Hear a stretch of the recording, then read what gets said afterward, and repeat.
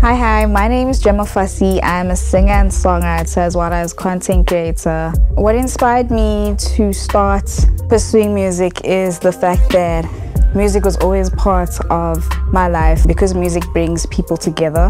My music speaks to who I am and who I want to be, and also it heals my inner child to be like, you know what, you went through this. People want to hear your story, and it also drives people to connect with you more. So, the reason why I think that I'm the Basadi Emerging Artist of the Year 2023 is because I'm such a diverse person. I like to experiment and explore different music genres. What's up, my beautiful gens? It's your girl, Gemma Fassie, and I feel like you should vote for me so that you can hear new music from your favorite artists. Ah.